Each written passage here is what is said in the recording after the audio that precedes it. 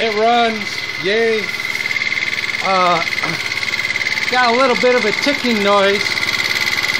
I wonder if that's the lifters or whatever, or maybe I don't have the valves just right. I'm sure you can hear it.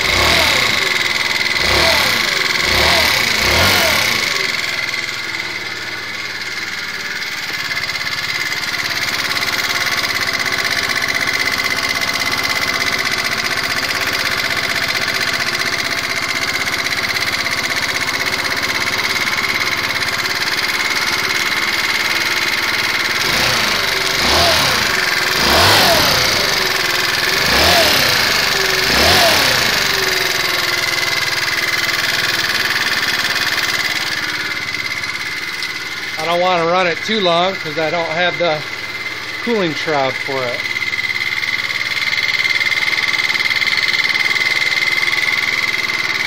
But it's alive! Yay!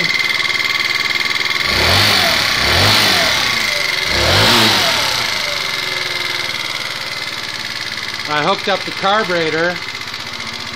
For some reason I didn't tighten the bowl all the way when I had it off. And I dripped gas all over, all over the damn CVT cover. I had a nice paint job done on it. I'm gonna have to redo it. But she runs.